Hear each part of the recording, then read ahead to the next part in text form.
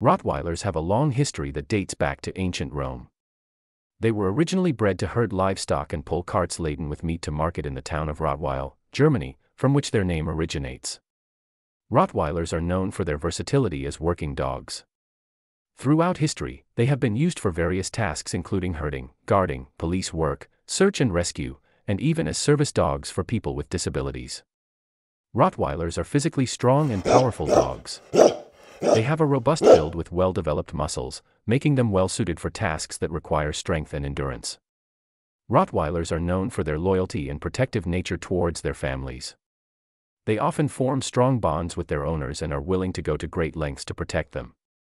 These dogs are intelligent and can be highly trainable, which makes them suitable for various training roles, including obedience, agility, and working tasks.